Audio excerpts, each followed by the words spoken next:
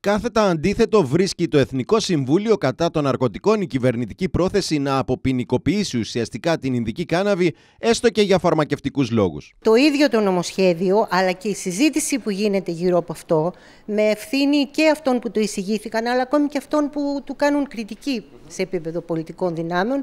Ε, όλο λοιπόν, όλη αυτή η συζήτηση μαζί με το νομοσχέδιο θεωρούμε ότι βοηθάει στο να αθωωθεί στη συνείδηση της νεολαίας η χρήση απλά της κάναβης. Ε, είναι δύο διαφορετικά πράγματα η χρήση της κάναβης που είναι ψυχοτρόπος ουσία με, ψηλούς, με μεγάλους κινδύνους και ε, που προκαλεί ανοχή και εξάρτηση ε, και διαφορετικό πράγμα είναι η χρήση κάποιων ουσιών που περιέχονται ε, μέσα σε αυτήν για, τον, για τη δημιουργία φαρμάκων που ενδεχόμενα η, η ιατρική κοινότητα δεν έχει τοποθετηθεί. Ο Παγκόσμιος Οργανισμός Υγείας εξέφρασε πρόσφατα επιφυλάξεις. Ε, φάρμακα λοιπόν τα οποία δεν έχει ακόμα ελεγχτεί η χρήση τους, η περιεκτικότητα, η σύνθεσή τους και η αποτελεσματικότητά τους. Επομένως, ε, είναι διαφορετικό πράγμα, θεωρούμε και επιμένουμε σε αυτό ότι πρέπει να διαχωριστεί. Άλλο πράγμα η ιατρική χρήση που σημαίνει κάποιες ουσίες χρησιμοποιούνται ενδεχομένως και άλλο πράγμα η χρήση της ίδιας της κάναβης που είναι ψυχοτρόπους ουσία. Όπως καταγγέλλεται από το Εθνικό Συμβούλιο κατά των Ναρκωτικών, απότερος στόχος είναι το κέρδος. Τώρα, συγκεκριμένα για τον νόμο που πλέον ψηφίστηκε, έχουμε να πούμε ότι με τον τρόπο που είναι διατυπωμένος, το μόνο που προσδιορίζει με σαφήνεια είναι η οικονομική όρη και εξάλλου αυτά, ε, ε, εκεί είναι και τα βασικά επιχειρήματα της κυβέρνησης, το πόσο θα συμβάλλει στην ανάπτυξη, στις επενδύσεις κλπ.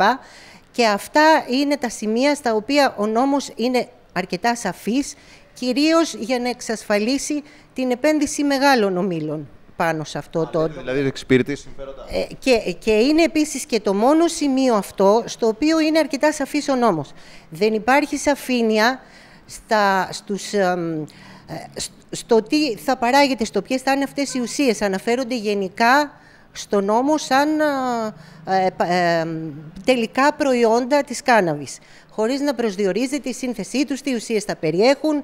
Ε, γενικά όλα εκείνα τα επιστημονικά κριτήρια που πρέπει να πληρεί ένα φάρμακο και με βάση τα οποία θα μπορούσαν να γίνουν και έλεγχοι στην πορεία για το πόσο τηρούνται αυτές οι προϋποθέσεις. Επίσης, είναι πολύ ασαφής ο νόμος στο πώς θα γίνονται οι έλεγχοι ε, γύρω από την λειτουργία, των, ε, από την παραγωγή και από την εμπορία και τη διακίνηση. Η πρόεδρος του Εθνικού Συμβουλίου κατά των Ναρκωτικών επισήμανε χαρακτηριστικά από το εμποροβιομηχανικό επιμελητήριο από τα Χανιά πως η ψήφιση του νόμου μαζί με τη συζήτηση για νομιμοποίηση είναι ένα παγκόσμιο παράδειγμα το οποίο έπειτα όταν απελευθερώθηκε πλήρως η Ινδική κάναβη έφερε τεράστιες κοινωνικές συνέπειες και αύξηση της χρήσης.